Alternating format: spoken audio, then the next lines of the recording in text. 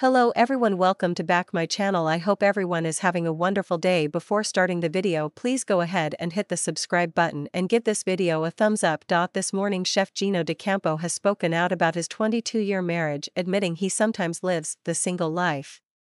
The Italian says the secret to staying together is time apart and only speaking to his wife Jessica for 20 minutes a day while he's away Gino, 47, even goes on solo holidays without his family but has shot down any claims that spending time apart could lead to affairs. You need to balance your married life with your single life, says, there is a time where the family is together, when I'm with my wife and everybody to celebrate holidays and everything like that. But there has to also be a time when I do things by myself and when she does things by herself I can be away for a month and I will talk to my wife once a week for about 20 minutes. Then, when I come back, we can talk about it all.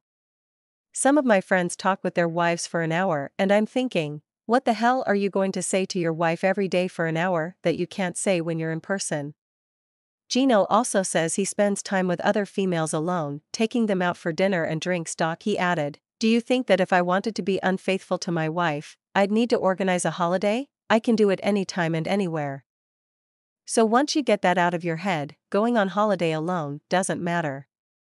Gino met Jessica when he was 18 and working at Sylvester Stallone's Mambo King restaurant in Marbella, where she was a waitress. They married seven years later in 2002, but renewed their vows in 2021 on their anniversary. The couple share three children together Luciano, 21, Rocco, 19, and Mia, 11. Gino was a regular on This Morning when it was fronted by pals Holly Willoughby and Philip Schofield, but until recently hadn't been seen on it in months.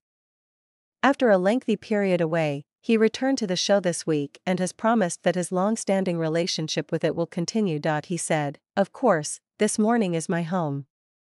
I know Ben, Shephard, and Cat, Deeley, very well, and whenever I have the chance, I will always return. I also just finished filming in Tuscany with this morning, and it was loads of fun. Gino is currently using his profile as a celebrity chef to promote a campaign to help cut back on the 8.2 million baskets of food, or 60,000 tons, that are wasted annually in the UK. Though he's worked in the food industry for decades, Gino was shocked to learn that the equivalent of 1,000 pounds of food per household was being squandered every year. He now wants to educate people on how they can reduce waste and save money at the same time. It's so easy to shop without thinking, he said. If your dish only needs 3 carrots, then buy 3 carrots. Choose what you'll use, don't just buy a big bag that will probably go to waste. Thanks for watching this video, and please subscribe our Netflix World 24 YouTube channel for more update news.